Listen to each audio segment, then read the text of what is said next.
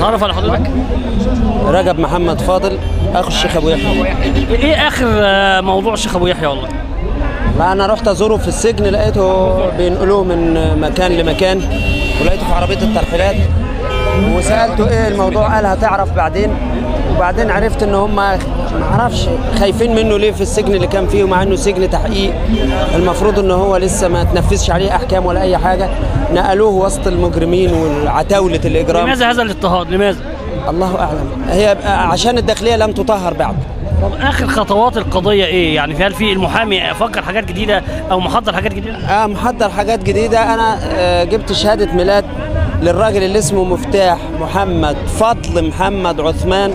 واللي ال- ال- الضابط ال- ما أعرفش أقول عليه إيه اللي كتب وراه والشهير بأبو يحيى وهو أبو يحيى اسمه مفتاح محمد فاضل حماد. آه يعني في اختلاف في الاسم. ده بتاع البحيرة س- 60 سنة وأبو يحيى 40 سنة. بتاع البحيرة عامل زراعي وأبو يحيى صاحب شركة إلكترونات. وده من البحيرة وده من المنيا.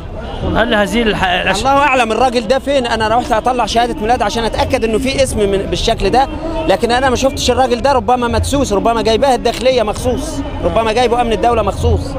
عشان ي- عشان الاسم مش أبو متشابه يحيى في- أبو يحيى في انهي سجن دلوقتي. دلوقتي في لمنطرة. والمعاملة عاملة إيه معاه المعاملة أسوأ معاملة. أس... الغرفة ما فيهاش حمام. ده 24 ساعة. يعني صفيحة معاه في ال- في ال- في الحمام.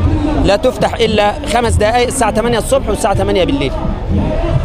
يعني أنتوا بتطالبوا إيه دلوقتي؟ وحبس انفرادي. مطالبكم إيه؟ الافراج الفوري عن الشيخ ابو يحيى لأنه من من اول من بد- اول المظلومين قبل الثوره وبعدها. شكرا. العفو ممكن تعرف على حضرتك؟ معاك أبو عبد الله.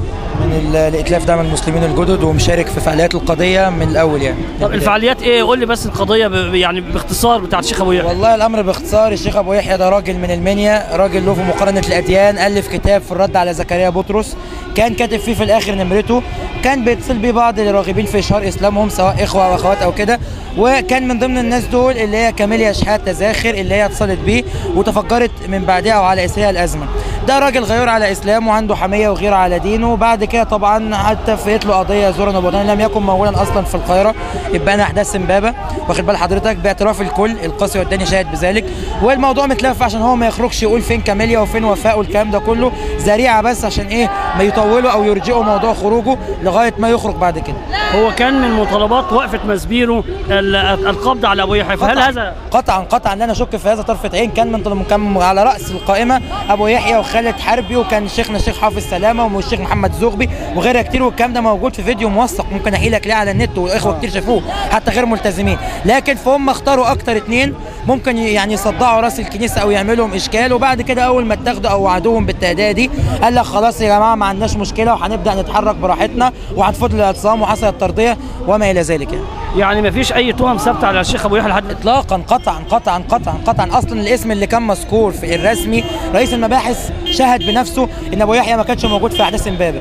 تاني حاجة إن الاسم اللي موجود اسم الاسم الرباعي غير اسم الشيخ اسمه مفتاح محمد فاضل. ده اسمه مغاير ليه وسن مغاير ليه وساكن في البحيرة. الخطوات القادمة اللي ستفعلونها إيه نعم. الفعاليات هتعملوا إيه الفعاليات القادمه الفعاليات في تصعيد في كل مرحلة لكن يعني صدقا بحق لن نسكت بحال. لن نسكت بحال ولن نهادن في حق هذا الأخ الفاضل الأخ الكريم والرجل المفضال لن نسكت عن حقه ولن نهادن فيه لكن كل اللي عايز اقوله إن هي تصعيد متواتر. يعني هنبدأ دلوقتي بالوقفات بعد كده ممكن تبقى اعتصامات. مش هن- هنفعل المسارين بشكل متوازي القانوني والشعبي. شكرا. تحت أمر حضرتك.